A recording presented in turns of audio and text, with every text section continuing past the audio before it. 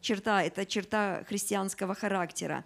Вот я предлагаю в конце служения, перед тем, как мы будем молиться опять за пожертвование, э, чтобы мы поделились, э, когда нам Бог на этой неделе предоставил возможность быть щедрыми, да, и что мы сделали. Или можно поделиться, что кто-то проявил ко мне щедрость, и что я от этого получил. Хорошо? Хорошо? Да, все, давайте.